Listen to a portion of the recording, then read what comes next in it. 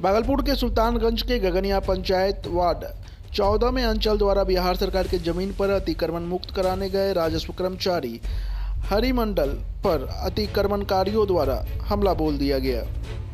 जिसके बाद राजस्व कर्मचारी हरिमंडल दलबल के साथ मौके से फरार हो गए।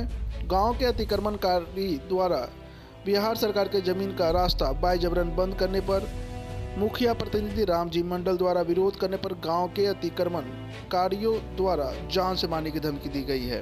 वहीं इस मामले में मुखिया प्रतिनिधि रामजी मंडल ने बताया कि राजस्व कर्मचारी हरिमंडल अतिक्रमण मुक्त कराने पहुँचे हुए थे, लेकिन गाँव के अतिक्रमणकारियों द्वारा हल्ला बोल करने पर राजस्व कर्मचारी हरिमंडल दलबल के साथ मौके से फरार हो गए। तभी गाँव के अतिक्रमणकारियों द्वारा बिहार सरकार के ज़मीन का बायजबरन कब्जा कर रास्ते को बुलडोजर से जाम कर दिया गया है।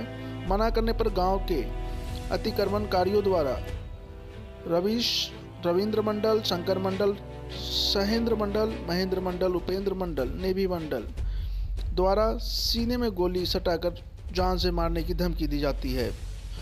वहीं इस मामले को लेकर थाना में लिखित आवेदन देकर जान माल की सुरक्षा का गुहार लगाया गया है। पुलिस घटना की छानबीन में जुटी हुई है।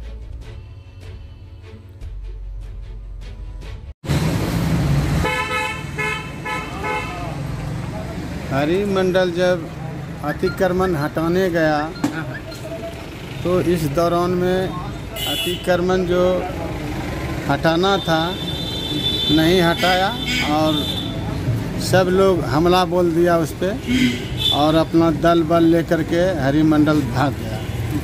उसके बाद भागने के बाद हम समझाए, भाई इसे क्यों करते हो?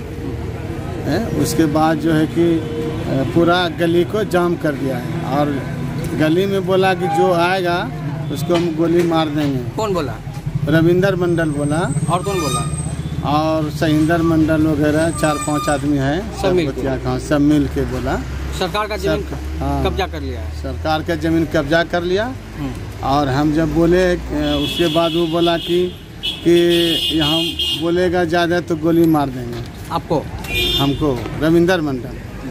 गोली मारने की धमकी दिया? गोली मारने का धमकी दिया रविंदर मंडल। आपका क्या नाम है सर? रामजी मंडल मुखिया प्रतिनिधि। गंगनिया। गनगनिया अब हर खबर पर होगी हमारी नज़र। पल पल बदलती देश और दुनिया की हर खबर। पाइए सीधा अपने मोबाइल पर। ऐसे ही खबरों के लिए करें से 24 लाइव को सब्सक्राइब साथ ही साथ दिए गए बेल आइकन को भी दबाएँ। Thank you